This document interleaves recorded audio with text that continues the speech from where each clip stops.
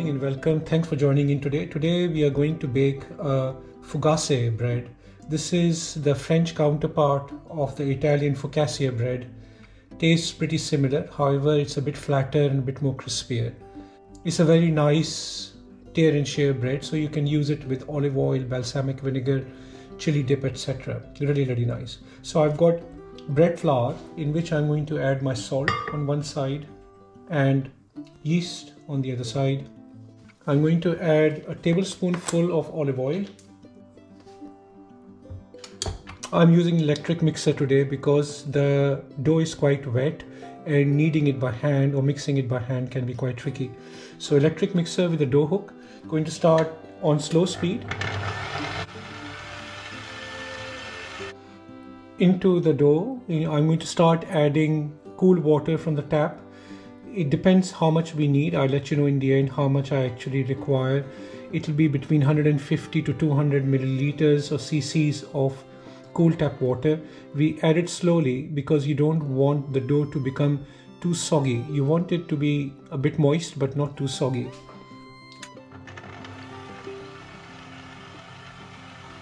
When the dough is mixing up nicely going to increase the speed to medium speed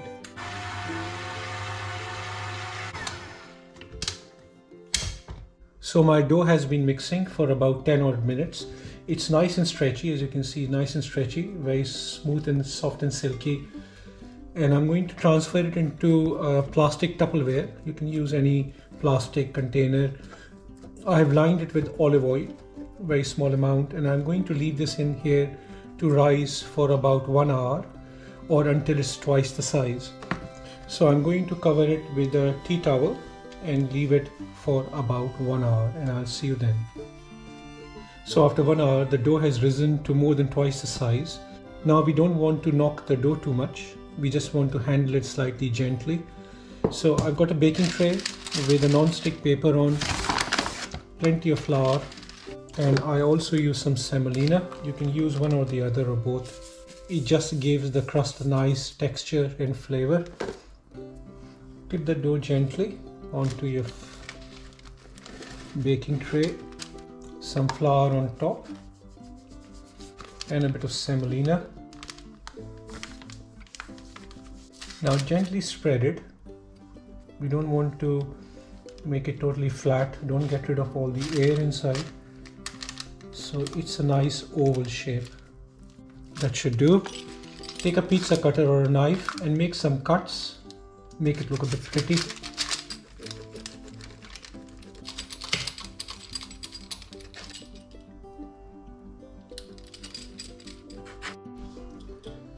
So I've used the pizza cutter to make the cuts and I have spread it with a butter knife. So it looks nice. So what we are going to do next is to put it into a plastic bag and let it rest for about 20 odd minutes. Make sure the plastic bag is not touching the dough so it expands nicely. So while our dough is resting for 20 minutes, we are going to pour some hot water, boiling hot water, bottom of our oven in a baking tray and I'm going to heat my oven to 200 degrees centigrade. As you can hear the sound of the fan it's a fan oven.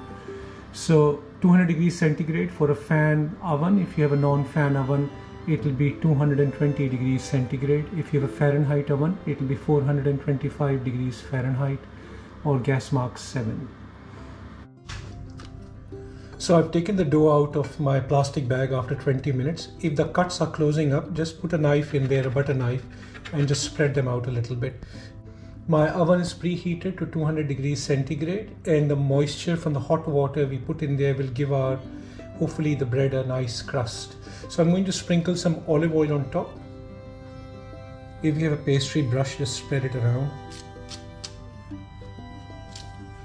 Some dried oregano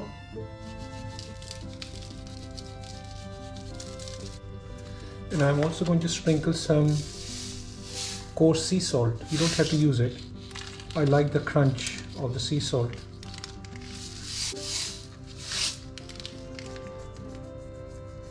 This is going to go into my oven. My oven will take about 18 minutes. Normal baking time will be between 15 and 20 minutes depending on the heat in your oven. So I shall see you back in about 18 minutes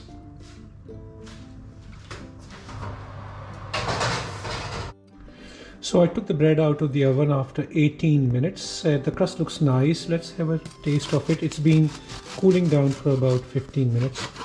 Let's have a taste. The texture looks nice. Lovely, beautiful bread. So we're going to have it with some olive oil, balsamic vinegar, some chili oil, and also with some tomato salsa with basil in it so it really will nice really really nice bread. So do try it. Gorgeous bread. And until next time i'll see you soon. Take care